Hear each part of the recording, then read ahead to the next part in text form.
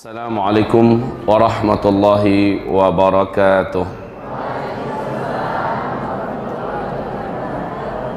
الحمد لله والصلاة والسلام على رسول الله صلى الله عليه وسلم وعلى آله وصحبه ومن تبعه بإحسان إلى يوم الدين. اسمعوا قول الله سبحانه وتعالى في محكم تنزيله. أعوذ بالله من الشيطان الرجيم. يا أيها الذين آمنوا اتقوا الله حق تقاته ولا تموتن إلا وأنتم مسلمون. وقال يا أيها الناس اتقوا ربكم الذي خلقكم من نفس واحدة. وخلق منها زوجها وبث منهما رجالا كثيرا ونساء. واتقوا الله الذي تساءلون به والأرحام. إن الله كان عليكم رقيبا. وقال يا أيها الذين آمنوا اتقوا الله وقولوا قولا سديدا. يصلح لكم أعمالكم ويغفر لكم ذنوبكم. ومن يطع الله ورسوله فقد فاز فوزا عظيما. اللهم ارحمنا بالقرآن وصدق الله العظيم. وقال النبي صلى الله عليه وسلم ألا inni qad ji'tukum biha bayda'a naqiyyah lailuha kanahariha. La yazighu anha ba'da dhalika illa halik. Amma ba'du. Ibu-ibu hamba-hamba Allah sekalian yang semoga mendapatkan perlindungan dan penjagaan dari Allah Subhanahu wa taala serta istimewa Bapak-bapak serta saudara kami yang semoga Allah SWT muliakan dengan keimanan dan ketakwaan sampai akhir hayat. Pujian dan syukur kita kepada Allah Subhanahu wa taala, salawat dan salam kita semua untuk kekasih Allah dan kekasih kita qudwah hasanah sayyidul anbiya wal mursalin Muhammad sallallahu alaihi wasallam. Tadi di atas pesawat saya masih bertanya kepada asisten saya, kepada Pak Saifullah tentang jadwal di sini. Beliau mengatakan jadwal insya Allah besok tabligh akbar pagi sampai zuhur. Malam ini hanya ada musyawarah konsolidasi dengan para dai, tokoh-tokoh masyarakat, panitia dan sebagainya. Ya makanya pas nyampe di hotel memang kemarin selama dua hari full maksimal menyampaikan kajian dalam delapan pertemuan. Satu pertemuan itu rata-rata dua jam dan untuk tabligh akbarnya sampai tiga setengah jam kemarin dua hari berturut-turut di Banjarmasin. Jadi saya tidak tahu kalau ada jadwal pada asar ini. Ternyata sedang istirahat diberitahukan kepada saya melalui telepon bahwa ibu-ibu sudah nunggu. Saya kaget. Masya Allah. Oh, ada pengajian Iya Ustadz, mohon siap-siap. Saya katakan kok bisa kayak gini, saya nggak tahu. Saya. Baik Bapak Ibu, bagaimanapun mungkin ini human error, ada uh, informasi yang kurang begitu apik di antara uh, manajemen saya dengan panitia. Jadi saya minta maaf. Pada prinsipnya saya siap saja, hanya saja ketika tidak diberitahu tentu saya santai-santai. Dan memang saya ambil waktu untuk istirahat. Bapak Ibu sekalian yang kami muliakan.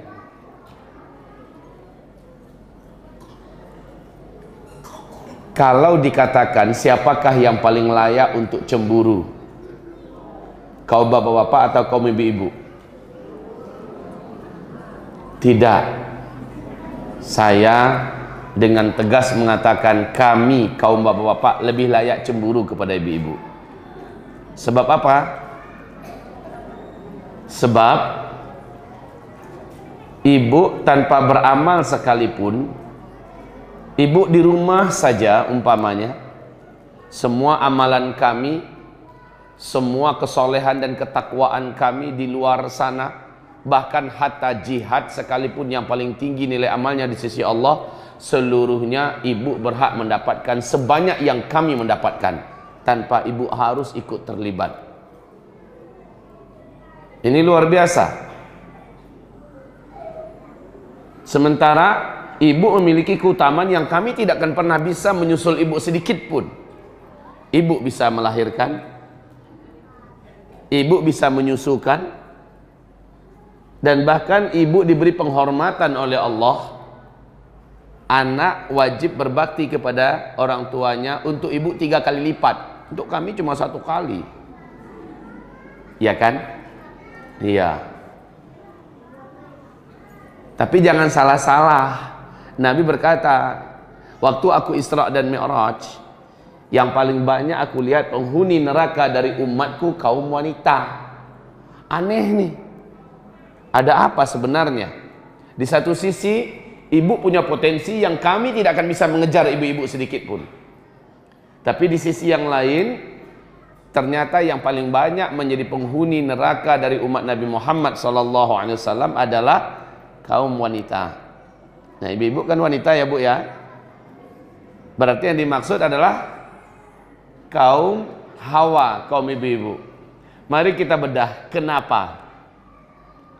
Jadi kalau seandainya dibahas dosa-dosa wanita, ini memang bahasan rutin saya di YouTube. Saya punya majelis kajian ibu-ibu khusus di Kota Payakumbuh, Sumatera Barat di gedung majelis ilmu. Ibu-ibu saja yang mendengarkan kajian itu Kitab yang kami bedah sekarang adalah 300 dosa-dosa yang sering diremehkan oleh kaum wanita. Kaum muslimin hamba-hamba Allah yang kami muliakan, pembahasan di sana itu memang sangat tajam dalam menyentuh dan mengena. Alhamdulillah sudah tidak sedikit kaum wanita yang taubat mendengarkan kajian-kajian tentang dosa-dosa yang sering diremehkan oleh kaum wanita. Alhamdulillah. Nah, itu tidak mungkin saya sampaikan di sini Mau 300 mau menyampaikan paling 3 atau 4 biji habis waktu kita.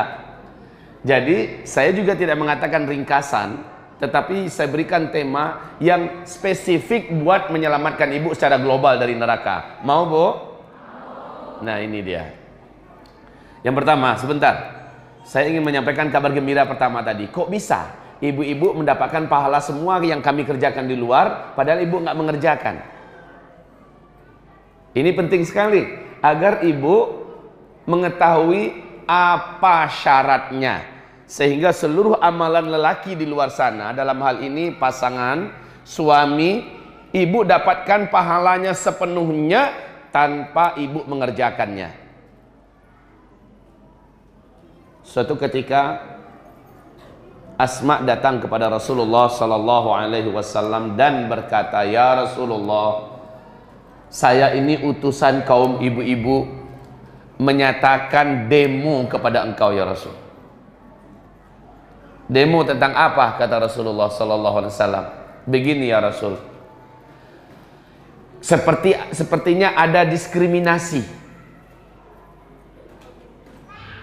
Kaum bapak-bapak diizinkan melakukan amalan-amalan yang pahalanya sangat besar sementara kami tidak dibenarkan mengamalkan amalan itu. Dia kasih beberapa contoh.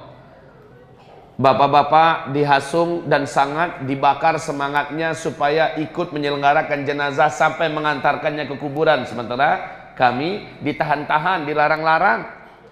Kan pahalanya jelas dari hadis-hadis sahih kata Rasulullah menyelenggarakan jenazah, memandikannya kah, menyolatkannya kah, mengapaninya kah, sampai menguburkannya mendapatkan pahala masing-masingnya satu kirat. Tahu bu apa satu kirat? Satu kirat itu nilai pahalanya beratnya sama dengan satu gunung Uhud. Allahu Akbar. Jadi menyelenggarakan jenazah memandikannya, mengapani, menyolatkan satu gunung Uhud pahalanya beratnya nanti dari dari kiamat. Lalu mengantarkannya ke kuburan, dimasukkan ke dalam kuburan. Kita ikut menyaksikan, dapat lagi satu kirat lagi.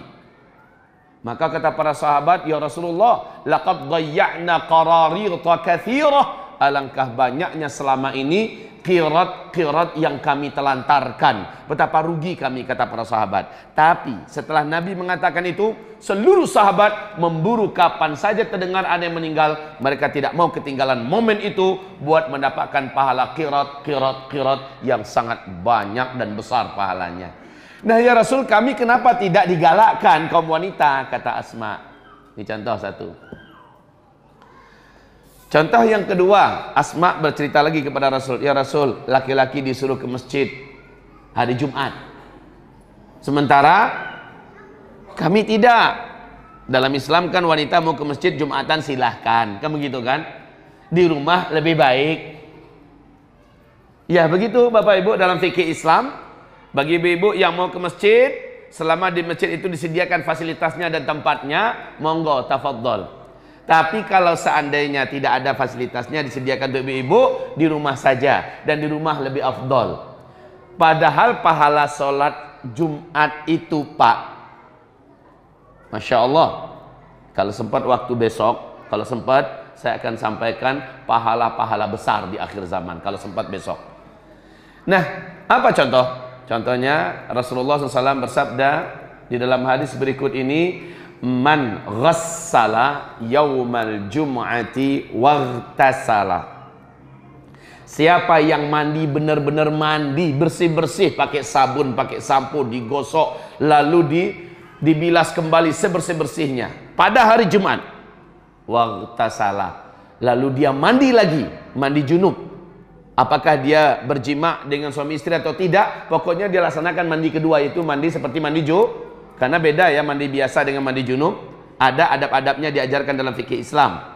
Ya, di mana disuruh dulu kita berwudu, ya. Kemudian kita setelah itu kaki ditinggalkan paling terakhir wudunya, kemudian basahkan rambut sebelah kanan dulu sambil dibilas-bilas, lalu digosok-gosok, diratakan air lagi ke seluruh tubuh sebelah kanan, ya. Dengan menjaga telapak tangan jangan sampai menyentuh kemaluan, kemudian kedua telapak kaki tidak boleh bergerak selama melaksanakan mandi junub tersebut dari tempat dia berdiri. Kayak kepaku ke bumi gitu. Terus digosok lagi dengan air rata ke, dengan kaki sampai ke kaki ke bawah. Lalu setelah itu pindah ke sebelah kiri rambut sebelah kiri dibasahi digosok-gosok dibilas-bilas lagi. Kemudian ambil lagi air ratakan lagi sambil membilas-bilasnya ke kanan. Kemudian kayak orang mandikan jenazah Mirip juga begitu dan itu cara mandi, mandi junub. Terus sampai ke paha, sampai ke betis. Sudah selesai, barulah kaki boleh digerakkan, kemudian dibasuh kaki melanjutkan wudhu tadi. Jadi mandi junub itu mandi di mana mandinya dibungkus dengan wudhu. Gitu caranya, tata cara mandi junub. Beda ya dengan mandi mandi umum, mandi biasa. Jadi dua kali mandi diperintah pada hari Jumat itu. Mandi biasa bersih-bersih total, kemudian setelah itu mulai niatkan mandi junub.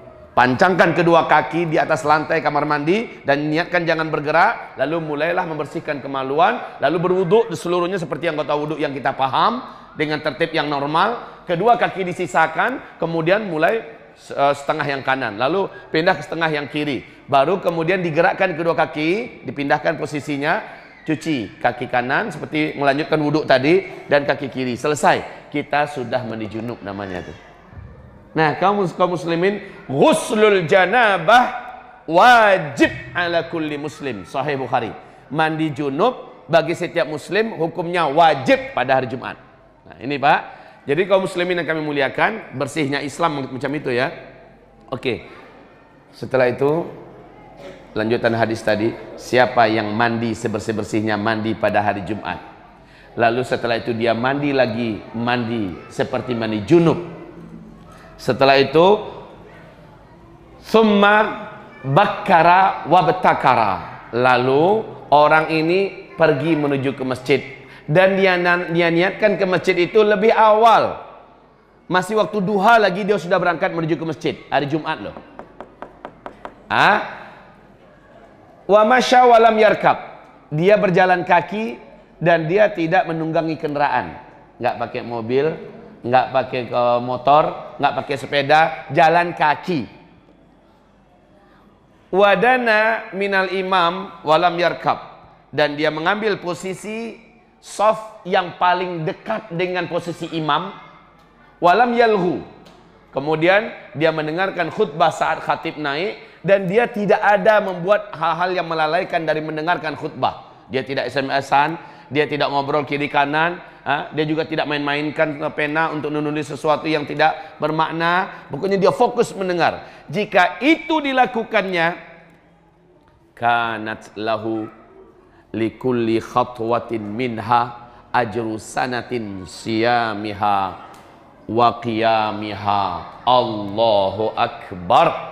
Satu langkahnya dari rumahnya menuju masjid setiap satu langkahnya dari rumah menuju masjid nilai pahalanya di sisi Allah sama dengan satu tahun puasa sunat dan satu tahun sholat tahajud. Setiap satu langkah pak. Langkah kedua nambah lagi satu tahun yang lagi. Subhanallah. Dan ini cuma kaum laki-laki yang dapat. Kaum ibu-ibu? Enggak makanya Asma mendatangi Nabi protes. Kenapa kami tidak dibuat diizinkan juga melakukan hal yang sama ya Rasulullah? Kemudian yang ketiga kata Asma ya Rasul kaum laki-laki diperintahkan berjihad. Lah kami tidak boleh jihad. Jihad itu pak pahalanya Allah Allah. Jihad itu pahalanya Masya Allah. Jihad dalam artian perang ya Abu Hurairah bertanya berkali-kali kepada Rasulullah termasuk di Sahih Bukhari diungkapkan hal ini, "Ya Rasulullah, ada enggak amalan lain yang pahalanya sama dengan jihad?" Enggak ada kata Nabi. "Ya Rasulullah, kami mau tahu, ada enggak amalan?" Tiga kali dia tanya, Pak. Yang amalan itu nilai pahalanya sama dengan jihad? Enggak ada, kata Rasulullah. Enggak puas hati dia, tanya lagi kali ketiga, "Ya Rasulullah, tolong kabarkan kepada kami, kami mau ikut ngamalkan. Adakah amalan yang amalan itu nilainya sama dengan jihad? Enggak ada kata Rasulullah sallallahu alaihi wasallam. Hai Abu Hurairah. Sanggup enggak kira-kira kamu sejak sang mujahid keluar dari rumah pergi berjihad meninggalkan rumahnya sejak itu kamu di rumah jangan berhenti-berhenti sholat kalau baca Quran, baca Quran, jangan putus-putus. Ya. Kalau zikir, zikir, jangan putus-putus. Sampai sang mujahid pulang balik ke rumahnya selesai dari jihad. Kamu sanggup nggak kira-kira begitu? Apa kata Abu Hurairah? Wa ayyuna yutiqu dzalika ya Rasulullah. Wahai Rasulullah, mana ada di antara kami orang yang sanggup kayak gitu? Salat aja nggak boleh berhenti. Salat dua rakaat, assalamualaikum, bangkit lagi, salat lagi dua rakaat, assalamualaikum, bangkit lagi. Gitu aja terus. Kalau baca Quran, baca Quran sampai khatam, lalu lanjut lagi, dari awal khatam lagi, lanjut lagi, khatam lagi. Sampai kapan? Sampai si mujahid pulang. Jadi kalau kamu bisa melakukan itu, baru kamu bisa mengimbangi pahala sang mujahid. Allahu Akbar.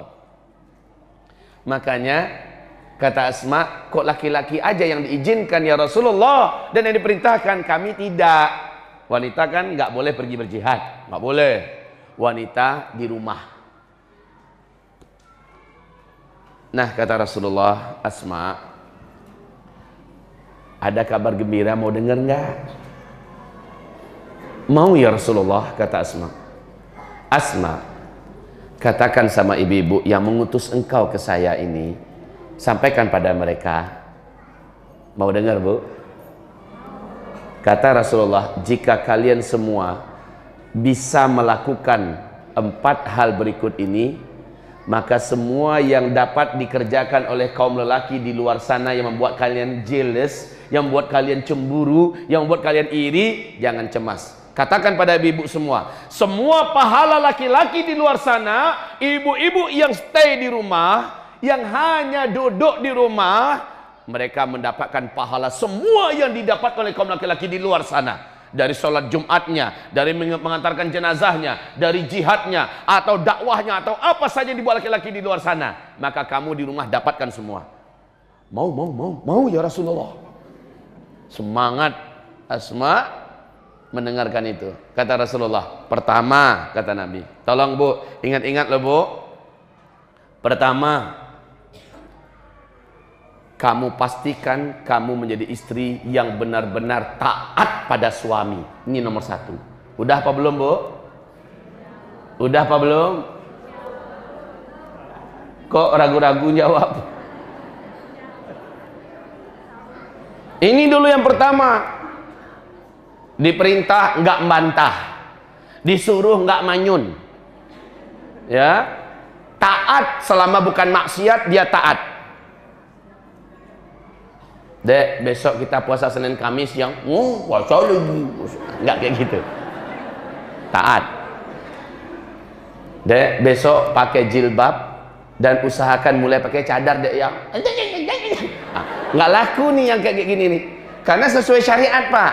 Kecuali kalau suami berkata, "Dek, besok ada tamu-tamu abang dari Australia." Dia memang orangnya masih moderat, masih oh, muslim biasa. Nanti kalau dia datang, tolong kamu dampingi abang dan jangan pakai jilbab ya malu abang. Kalau begitu ini sudah maksiat, maka tidak boleh taat. Tapi selama bukan maksiat wajib taat. Ini kunci pertama loh. Ini kunci pertama.